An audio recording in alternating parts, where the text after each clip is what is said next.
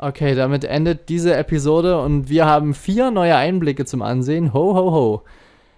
Da haben wir einiges zu tun. Gut, schauen wir mal. Es geht los mit dem Polarfuchs.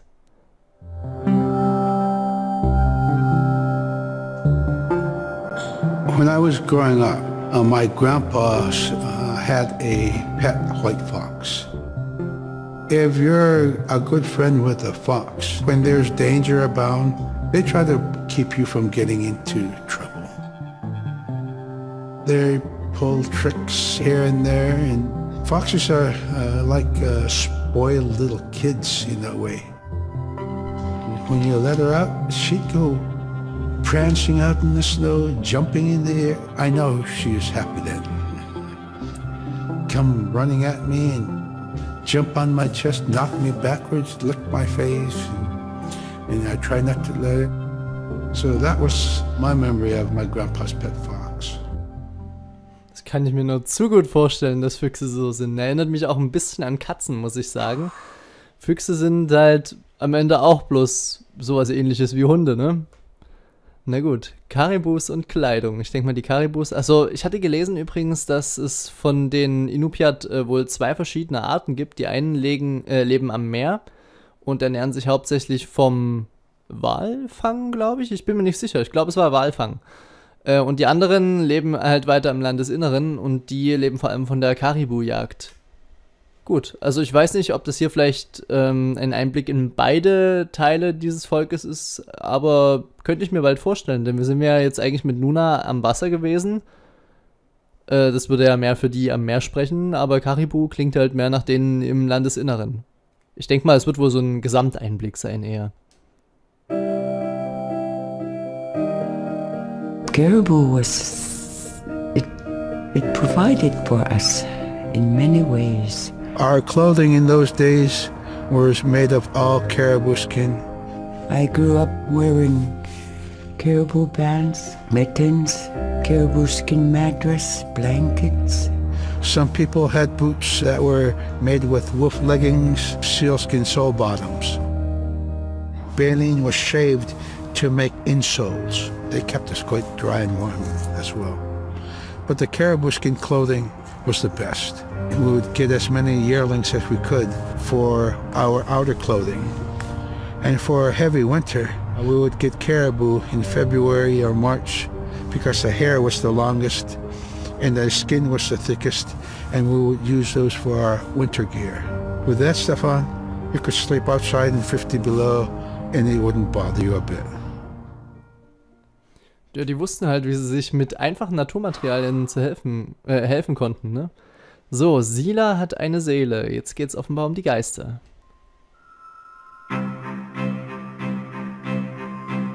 Sila is the weather. It also means the atmosphere. Here's the Nuna, or the land. And it's anything from the land into the moon, the sun, the stars. That's Sila. It's uh, it's a very spiritual, and we have a relationship with Sila.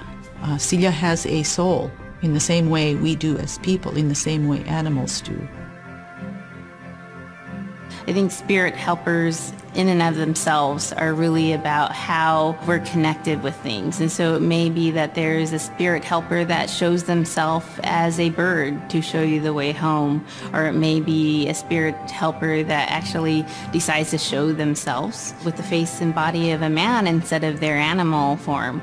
And so I think one of the things that's hard to understand is that it's not one way of seeing things. It's one way of knowing you're connected to everything. We've always had that spirituality of everything around us. It's the interaction you have with the air you breathe, the, the ocean that you gather resources from, the rivers from which you gather fish, the tundra from which you pick berries, the animals that give themselves. It's, it's all of all of that.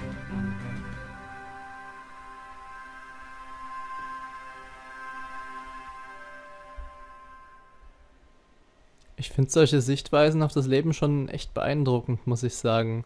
Und äh, die gefallen mir auch sehr. Also ich persönlich ähm, bin ein großer Freund des Buddhismus und äh, im Prinzip geht es da ja in eine ähnliche Richtung. Also dort ist es ja dann letztendlich die Einsicht, also äh, ich sage jetzt mal, mich interessiert am meisten der Zen-Buddhismus, weil es da halt auf die grundlegenden Informationen eingedampft ist und keine, äh, keine, wie sage ich denn am besten, keine lokal eingefärbten äh, religiösen Geschichten noch mit eingewebt hat. Also es gibt ja noch Majarana und sowas, äh, wo man dann eben, also die, die ganzen indischen, äh, im indisch geprägten buddhistischen Richtungen sozusagen oder auch äh, der tibetische Buddhismus, die haben ja dann im Prinzip noch ihre lokalen Götter mit drin und sehr bunt ausgekleidete Geschichten dann. Mich interessiert halt mehr so dieses grundlegende, worum es geht beim, also äh, weißt du, die, die grundlegende Gemeinsamkeit aller buddhistischen Traditionen ist und das ist im Zen ganz gut wiedergegeben. Und da ist letztendlich auch die Erkenntnis, äh, wir alle sind irgendwo eins, sind miteinander verbunden und da kommt man dann am Ende auch zu der Erkenntnis, äh, ja, dann sollte man vielleicht auch ähm, nach Möglichkeit nicht andere ausbeuten. Äh, dazu gehört auch die Natur und sollte sich vielleicht überlegen, schade ich mir nicht selber, wenn ich anderen schade sozusagen. Auf indirektem Wege, wenn man so will. Und ich finde, das geht so in eine ähnliche Richtung. Deswegen gefällt mir das eigentlich ziemlich gut, diese Einsicht in das Ganze. So, der Weg der Fallensteller.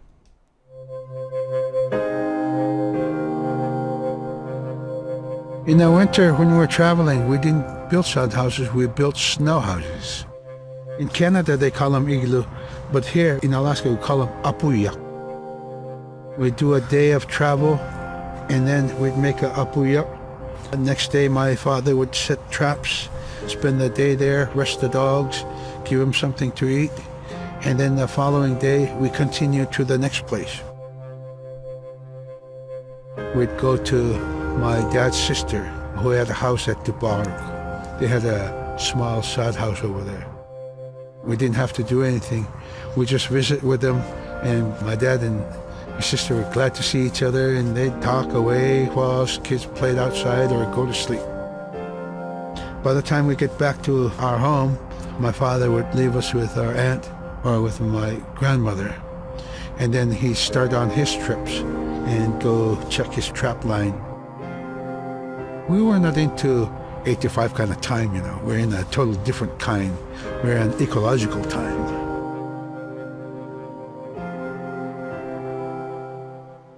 Was heißt denn ökologische Zeitrechnung? Das würde mich mal interessieren.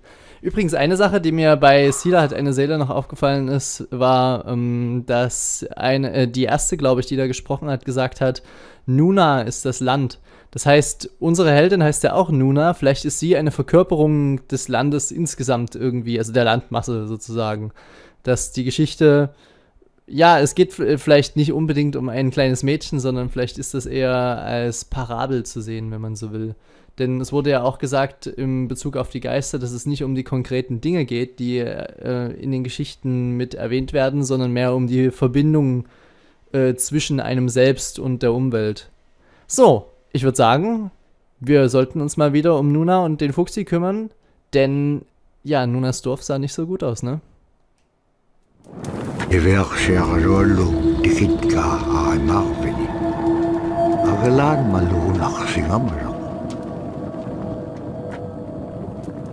inyokulog tisim ngamalok naglaksero lupingan. Iba halak si manok sumitema. Dikatsak kumanyain yaksok. Pakit kangam nago. Ibaktani. Nunakik isiwak tuwa ka naksok. Inyungi tukot taktawa naksito.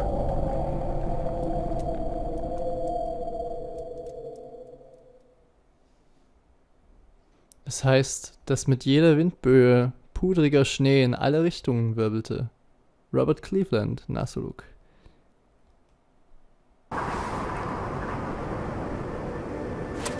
Und da sind wir wieder.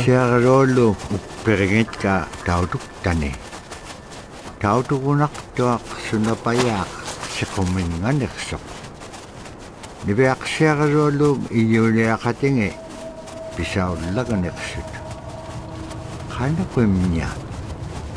ko lakpalkhinyam dahil na kuminyay ka.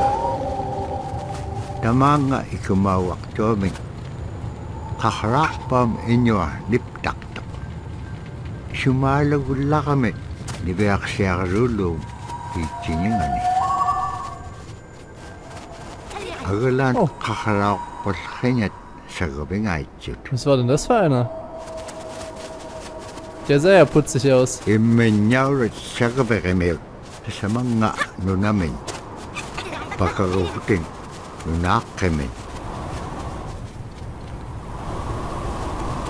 Oh, die Kleinen sind also garstig und bösartig. Na sowas. So, hilft uns das weiter, Fuchsi? Nein. Kommst du irgendwie unten durch? Auch nicht? Okay, aber Fuchsi kann, glaube ich, ein bisschen weiter springen als Nuna, oder? Ah! Oh Gott, oh Gott, oh Gott. Wir müssen uns einfach den Wind zunutze machen. Hui. Komm, Nuna, beeil dich. Fuchsi ist gleich weg. Wenn du noch lang trödelst. Okay, komme ich hier irgendwie an die Wand dran? Aha. Aber ich komme nicht... Ah, ich komme da nicht weiter hoch dann. Ah, ich sehe schon, ich sehe schon, ich sehe schon. Na, bitte nochmal, Fuchsi. Hops. Und hops. Ah, das war aber knapp. So, Nuna. Hat sich erstmal die Rübe eingehauen, die Arme.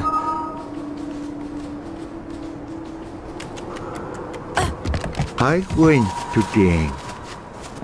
Ukalagtok inyo gumarwak ukpik. Der Eulenmann? Ah. Den haben wir gerade schon im Video getroffen. Kano ko ma ilisimanek pa nga. Isumulagtok ni Beak siya karwalok. Kano kita pura, kao nagay ngagikpen. Hilaw di ka piup ko. Ikayo ko niya kalawikpen kimon dahil bakit ilanga? Okay, dann würde ich sagen, begeben wir uns mal auf Instrumentenjagd, nicht wahr? Hat der Eulerich uns jetzt eigentlich wieder ein Video freigeschaltet? Oder? Nee, ich glaube nicht. Die sind einfach nur als Begleiter des Eulenmanns da, ne? Gut, suchen wir die Trommel. Ah, hier. Der Herzschlag der Gemeinschaft. Okay. Ihr seht das? Ach so, das ist bloß das Seil. Okay. Na dann, Nuna. Weiter geht's. Aber wer sind die Kleinen, ist die Frage. Die klingen ja erstmal ganz niedlich. Aber wenn sie am Plündern sind... Oh.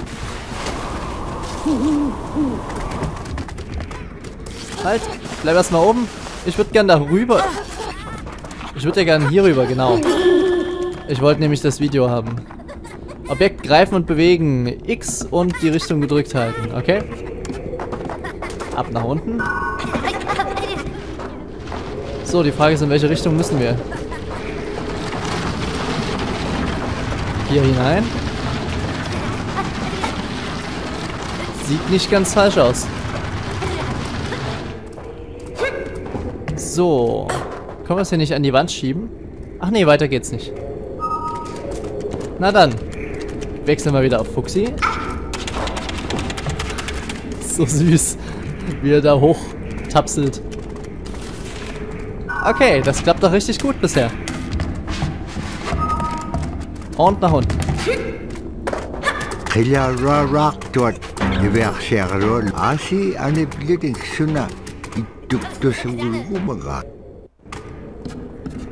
Oh. Hätte ich etwa nicht entdeckt werden dürfen, oder wie? Ah, okay. Na, wenn das so ist, dann müssen wir uns Mühe geben, nicht erwischt zu werden. Na klar, der Fuchs ist eine große Hilfe, indem er sich oben drauf setzt. Das könnte auch eine Katze sein. ist klar. Was liegt da eigentlich drin in dem Käfig? Was ist das denn? Wer weiß. So, Fuchsi, du bist wieder dran. Und Nuna kommt hinterher. Okay, wir müssen jetzt auch immer ein bisschen aufpassen. Wie sieht das denn aus unten? Kommen die ja nochmal irgendwie lang, oder? Ich höre es immer bloß tapsen, aber es kommt keiner.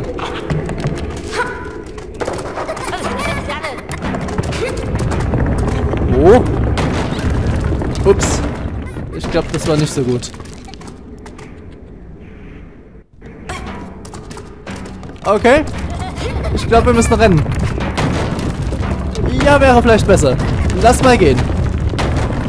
Ach, wir spielen Nuna. Ich wollte eigentlich das Fuchsi haben. Und jetzt? Du bist ja gemein. Aber ich kann doch nicht beide von dort wegsteuern. Ihr müsst mir doch eine Chance geben. Oh oh, Fuchsi! Ach du Schande, was geht denn jetzt los? Nein, nein, nein, nein, nein. Lass mal, lass mal. Ach, man darf nicht mal berührt werden von den Dingern. Na, das ist ja doof. Dann hätte ich gern Fuchsi wieder. Oh, oh. Gut gemacht.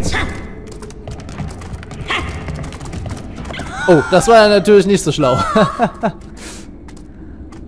jo, da ist sie traurig. Aber es ist natürlich freundlich vom Spiel, dass es hier die Speicherpunkte so nett setzt an der Stelle. Ach komm, Mädchen. Du musst natürlich auch ein bisschen mitmachen. Vielleicht ist es auch besser mit Nuna zu spielen, weil der Fuchs doch ein bisschen agiler mitkommt. Ne, würde ich zumindest denken. Ja, der kommt ein bisschen schneller nach. Da kommt einer noch. Und... Uh, das war ja gemein. Okay, ich wechsle wieder auf den Fuchsi. Lauf nur! Ja, verzieht euch. Okay, haben wir hier irgendwas, was uns hilft? Ach, die Trommel. Ha.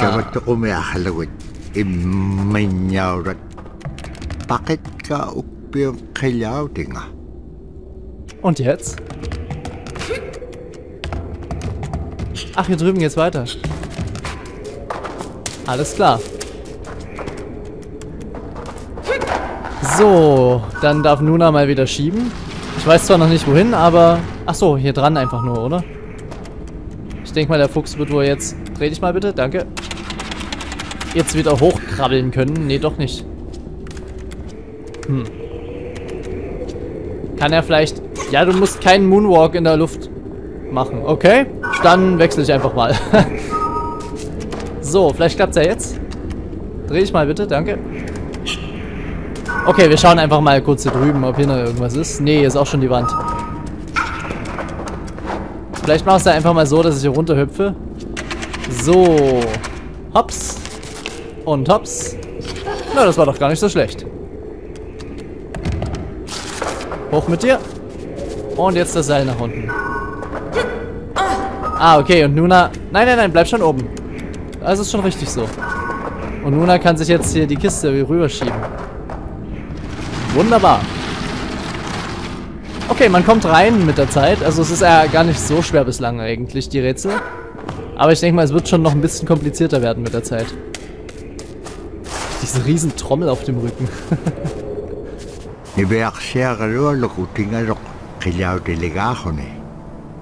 Die sieht hübsch aus. Die Trommel.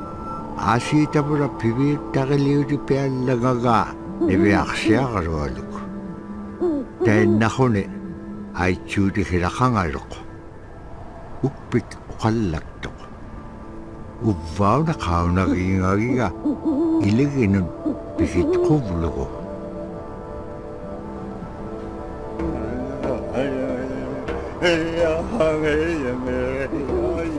Okay, was haben wir denn da bekommen? Achso, wir sind der Fuchsi gerade. Oh. Okay. Ähm, wie kann ich das denn benutzen jetzt, ist die Frage. Oh, so nicht auf jeden Fall. Äh, gut, ist also interessant, wir können auch mitten im Spiel wirklich jede Zeit die Kultureinblicke gewinnen. Ich teste mal gerade die Tasten aus, damit ich ja weiß, was ich eigentlich machen kann. Ist nämlich eine etwas vertragte Steuerung, sage ich mal. Okay, wir werden bestimmt noch eingewiesen, denke ich mal. Ansehen, Bola.